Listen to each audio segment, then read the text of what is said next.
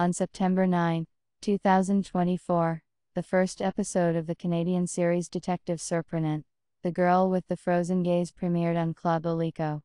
This crime thriller continues the tradition of high quality French thrillers.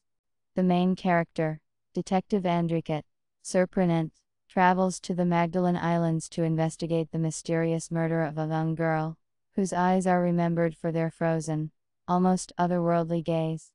From the very beginning, it becomes clear that every detail matters, and the crime may be connected to someone from the local residents, whose secrets are hidden behind inscrutable faces. Surprenant finds himself at the center of the events, trying to unravel the web of mysteries surrounding the murder. However, things become more complicated when a new partner from Quebec City is assigned to him. This partner's difficult personality and sharp demeanor become a real challenge for Andriquet. The Quebec detective acts bluntly and harshly, leading to constant conflicts between the two.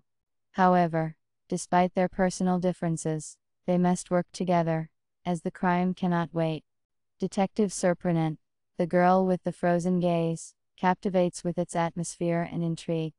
The islanders' secrets, suspicions, lies, and cunning tricks all create a tension that keeps viewers on edge until the very end.